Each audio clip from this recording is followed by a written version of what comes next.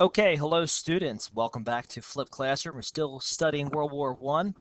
At this point in our notes, we're looking at question number 13, the two new technologies of the war. So by this point, it's 1914. The war has begun. Um, and both sides are mobilizing in Europe. The Schlieffen Plan, as we remember from the previous class, was a failure. The Schlieffen Plan only triggered Great Britain to enter the war. And now both sides dig in. Germany, Austria Hungary, and the Ottoman Empire are now forced to fight a two front war between France, Great Britain on one front, and Russia on the other front. Both sides dig an elaborate trench system that really goes just back and forth only a couple miles. Uh, the battle lines um, only exchange hands just a couple times, and both sides really dig in for this long and very bloody conflict. So, a couple of the new inventions that make their debut in World War One are as follows. Uh, the first is the airplane. Okay, we've got the Red Baron uh, flying above. Uh, airplanes were used to scout out any pos- enemy positions. They were also used for the first dogfights in uh, early combat. They would fly low off the ground, a couple hundred feet. Um, they would fire at the soldiers in the trenches. Um, they would also dogfight with the other uh, enemy planes. The next invention, the tank and U-boats. The tanks were very important. Um, were a very important invention because they cut through the thickets of barbed wire. We said the barbed wire became a big invention during the Boer War in the age of imperialism. So those tanks, early armored vehicles, really could uh, uh, cut through the barbed wire very easily. Then also the Germans developed U-boats or undersea boats, and these were uh, preludes to the submarine, uh, which would later be developed. These boats could attack and fire torpedoes at other cruise liners and ships. Uh, here's another image of a tank going through a trench. You guys can see the tread that the tanks operate on. Okay, steam warships were a huge invention. Guys, gone are the days of you know wooden frigates. These are heavy steel metal battleships uh, with long range artillery. That's good for blockading your opponent or going to war on the high seas. The Zeppelin uh, the Zeppelin wasn't widely used. This was uh, they made easy targets, but uh, the Zeppelin was good for uh, going up in the sky and scouting out reconnaissance and seeing where your enemy was positioned. Uh, the Germans used this quite effectively. Another invention: flamethrowers and grenade launchers. Again, men were in these elaborate trenches that were a couple feet deep. Well, in order to get your enemy out of the trench, you would uh, fire a flame of gasoline uh, the tanks you guys can see here uh, would shoot out the gasoline, then there would be an, an, an, ignition source that would spark the flame, and it would set the trenches on fire and force the men out of the trenches. Also, grenade launchers would do the same. And finally, one of the most uh, deadly inventions of World War One is poison gas, whether it was mustard gas or chlorine.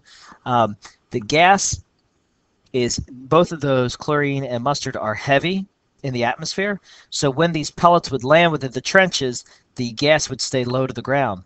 As a result, in order to escape the gas or escape your skin being burnt, you had to get out of the trenches. So when you would get out of the trenches, you would be shot at. But where you have gas, you have, well, gas masks. That's another invention of World War One. You also have the rapid fire machine guns uh, they first made their appearance in the Spanish American War, the Gatling gun, but those advancements are improved upon in World War One. And here you've got uh, British soldiers wearing their gas masks in a gas attack. You also have the German soldiers wearing their gas masks, uh, firing the machine gun there. Long range artillery or, or heavy artillery uh, was one of the new technologies of the day. Uh, soldiers could fire heavy ordnances from miles away and have those shells land within uh, the trenches and blow apart the trench system there. And this is a photograph of a World War I battlefield. Soldiers going to battle. And this, eh, ladies and gentlemen, is a map of the trench system. So what the trench system was, and you guys can summarize this for question 14, the trench system was an elaborate design of of lines of battle, and the trenches usually were dug four and a half to five feet deep, deep enough for a man to stand comfortably and not get shot at. They would reinforce them with sandbags, um, and the men, the soldiers, would be uh, standing along the front lines of the trench.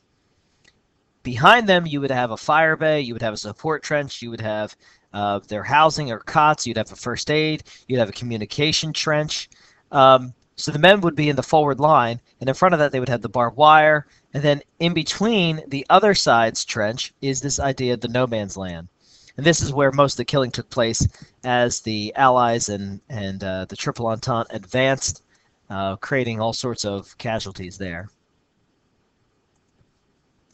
Here's a photograph of young men uh, going into battle, leaving the trench system. Here is another photograph showing just what life was like for soldiers in the trenches.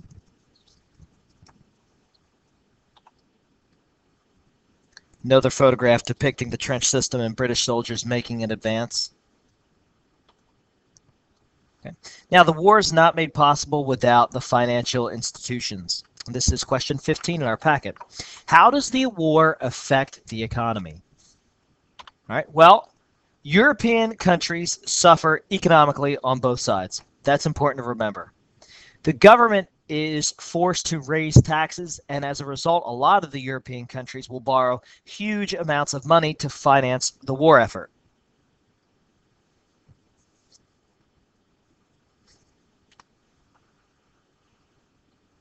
The governments also regulate prices to prevent strikes from happening. Okay, that was a big uh, violation of natural rights. You can't really do that anymore. And the big thing also is women went to work.